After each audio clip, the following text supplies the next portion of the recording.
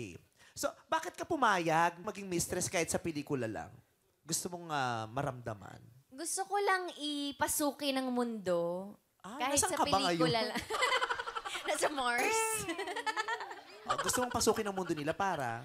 Para ano, hindi na, tinanggap ko siya kasi hindi naman siya movie na typical mistress movie eh, na may ano, may ganyan, Ano yan? Ano may, yan? an- Ano di yung ba, ano at may, ganyan? May ano, Ang liwanag no, nakuha namin yung gusto mo sabihin.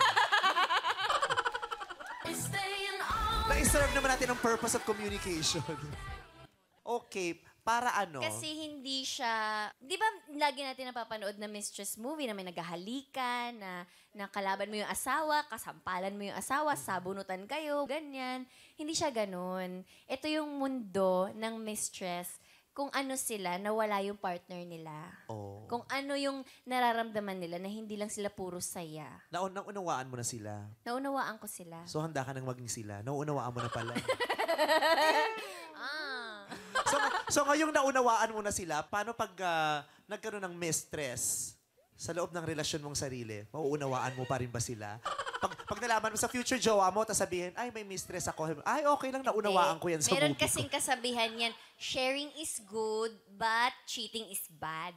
Ah, Ganyan, ha? taray. Words of wisdom. Sharing is good, but cheating is bad. Yeah. Taray. Sabihin mo Pang- na lang yun pang sa partner status sa mo. Facebook. I'm sure may gagamit yan ngayon sa Facebook. Sharing, oh, ito na po, para hindi magkamali, ha? Sharing is good, but cheating is bad. Oh.